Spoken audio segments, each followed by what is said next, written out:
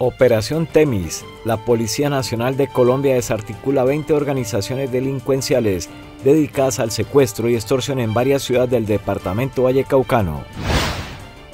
En el Valle del Cauca, capturadas 23 personas por extorsión y crimen organizado y la desarticulación de la oficina de Jamundí.